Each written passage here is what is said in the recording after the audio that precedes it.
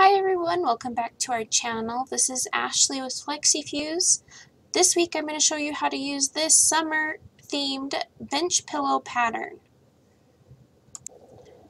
I've already traced my templates and numbered them and now I'm going to start cutting them out.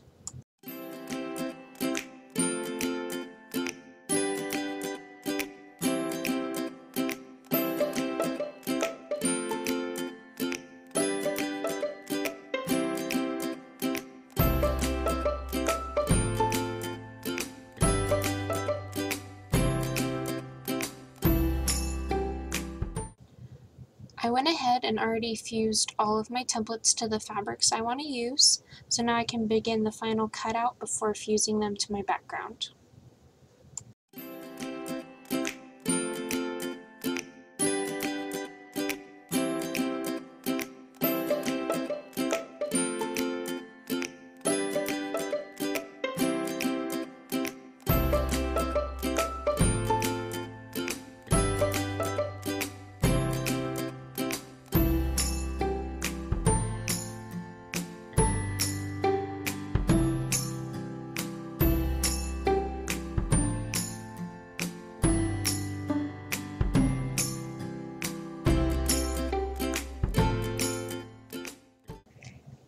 Now I'm going to start placing all my pieces onto my background fabric and ironing them on, holding and pressing for 10 seconds on high heat, no steam.